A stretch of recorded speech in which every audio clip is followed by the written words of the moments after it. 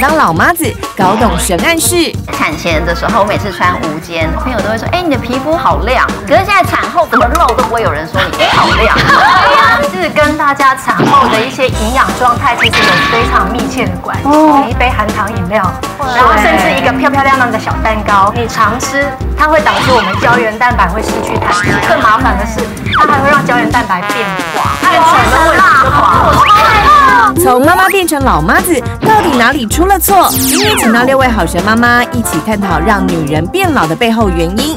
到底妈妈该如何守住青春，对抗衰老？精彩内容马上开始。其实啊，我觉得每个女人心里头都有个小女孩，嗯，对。但是呢，就是这个小女孩她一直都在心里头，因为你发现外表还是会渐渐的老去。大家对自己感觉自己变老的心情是什么？我觉得体力很重要，就是体力以前真的是非常非常的好哎。就像我之前就是还在上班的时候，就年轻的时候还没有生小孩的时候，我是天天就时间很多嘛，都去做瑜伽。嗯，然后我是一直做到我进医院生的前一天晚上，我还在做瑜伽。就后来就还是必须要服。你们主播圈很好强，真的，所以就还是不能输。但是现在已经不一样了，因为小孩蹦出来之后，我到现在已经快两年，我没有做过瑜伽，没有做过任何的运动，所以我现在，而且我常腰酸背痛，因为我现在亲喂母乳，我还在喂，然后你还在喂，对，而且我用不符合人体工学的姿势喂，因为有时候他在气座上面就在睡觉的时候，他会需要喝奶奶睡觉，就是小孩他在右边的，对，那我坐在他左边，然后我就会就要用可能用这边的胸部去喂他，然后我的就必须要这样，然后手还要拉着前面座椅的那个椅背。还可以，大爷，好奇妙哦！对，然后他才会睡着啊！哇塞，那么奇怪吗？没有，我是为了让小孩睡觉。然后所以后来我现在就常腰酸背痛，因为每天晚上睡前他还是要吃东西嘛，他还是要喝奶奶。然后我就是要侧侧边喂他这样。然后所以后来就觉得说，天啊，妈妈人生真的不是。一般人可以胜任的，可是其实我觉得很有趣哦，就是年轻的时候也就算了，可是当妈之后，我觉得是很大的创伤，就是一瞬间变老，对，是一瞬间。其实其实老化哈，男生女生都会有，但是很多妈妈都有一种共同的共识或共鸣，觉得说好奇怪，为什么我一当上妈之后，我整个人操劳的速度比以前是好几倍，光速就是在在真的。那老化其实从外观到里头都有。我大概讲三种哈，三例哈，这三例呢，你如果有中哈，其实它是因为外观上你比较可以感觉得到的。如果这三例有种，可能你有老化的现象。第一个肌力，好，刚刚有提到哈，有时候蹲不下来，半蹲不下。第二个眼力，你会发现好像眼睛。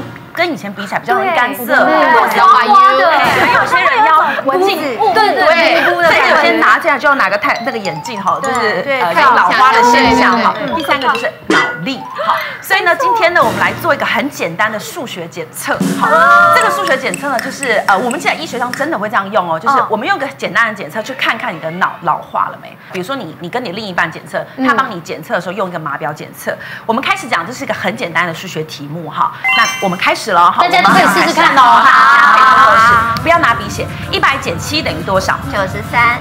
再减七等于多少？八十六。再减七等于多少？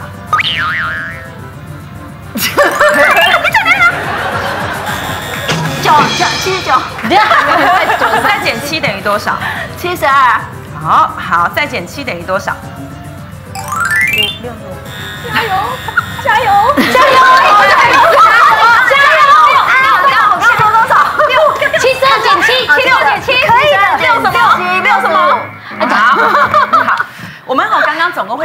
百减五次的七，哈，每一次都要答对，答到最后一次完成的时候，他的安东妈刚刚的数字是三十二秒钟。这是这是厉害，这还不是还不错的。通常呢，我们在四十岁以下的人，二十秒钟要完成这一题。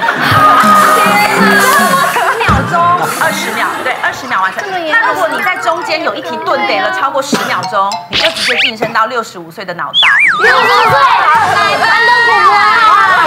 我的智慧都生给我的小孩了，就生一个小孩会老十岁之外也会变笨，那可能别人变笨，但他以前是会计耶，对，我要顺便提一下，这边里头哦最有鉴别度就是安东妈了哈，为什么呢哈？我们通常在这个老化，尤其我们在判断所谓你有没有失智好的严重度的时候，算数学或是你失去过去最厉害的事情的能力，这是个很大的指标。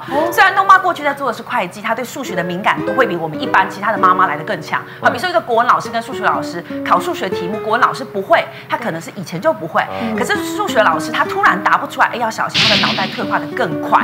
所以你不是只有三十二秒，你要再多加十秒哈，因为代表你的年纪老化更多。所以我们看刚刚的检测，如果你的时间是二十秒以内，恭喜你，你还是个健康的头脑。二十到四十秒，你的头脑已经在你的脑袋的年龄已经在四十到六十岁。如果你超过四十秒，又或者中间有错误的题目，中间是不得提示哦，一百减七等于九十三嘛，你不能告诉他那九十三减七不是，你要直接问他再减七等于多少？考记忆力，考数学力。如果中间就答错了，超过十秒钟，你的年龄是六十五岁。哇，所以中医的方法是怎么看我们女人变老这件事？对，中医的观点是这样，我们中医说肾为先天之本，脾为后天之。本嘛，好，所以就身体机能衰退跟我们脾肾两个脏象的机能开始失调有关系。其实《黄帝内经》有提到说，女人一生的身体变化有所谓的七年周期。嗯，女生的话，七岁是肾气盛，这个时候很旺盛。好，可是他说二七就是十四岁的时候，那时候开始月事已时下，就是月经开始来了，所以故有子，就是说你我们的生殖系统慢慢开始发育了，所以这个时候月经都来了。然后三，他就三期四期都有不同的症状，但是都是不错。他一直到七期七期就是四十九岁，他就讲说他是任脉虚，太冲脉衰少。故形坏而无子也，是形体毁坏，形体就是身体机能开始衰退，所以这时候没有办法生育了，也就是说月经停止，这时候就会出现我们所谓的这个肾阴虚的症状。好，那很多人说，哎，那这个肾阴虚应该理论上《黄帝内经》也讲到，说是四十九岁、五十岁的时候才会出现。对啊。可是呢，如果当你发现你这个肾阴虚的症状，你这些已经有大概超过四项的时候，其实小心。所以我很明显是肾虚嘛，因为我已经有腰酸，然后还有白发。最让我震惊的一次，就是因为呃，我三天没有扫我儿子的房间，然后那次去扫的时候，我就想说，因为我那时候太累了，然后我想说啊，没关系，一两天没扫没关系。就到第三天去扫的时候，我发现我儿子已经在玩那个就是多出来的那个头发头发很长，那个掉下来就很长，那卷在一起，他就一直去磨磨磨磨磨，然后就玩那个头发球，好恶心，我就觉得伪山那样子，然后就一直把它丢来丢去这样啊。哎呀，所以你就是他们所谓的肾阴虚，对对对，还很明显，没错。那也不要紧张，我们说肾是先天之本，有时候年龄上真的不得已。可是我们还有个脾，肠胃道系统是我们的后天之本，所以顾好的话有帮助。可是偏偏呢，现代人其实压力大，我们时常时常用吃来疏解压力，对对不就是你压力大时候，你会想要去吃沙拉、去吃水果吗？不会嘛，你一定去吃炸鸡、薯条，就是一些辛辣刺激重。重口味或是重甜、重咸口味的食物，因为这些可以缓解，就是会释放压力、疏解压力，所以这时候我们中医讲会造成我们的胃火变得很旺。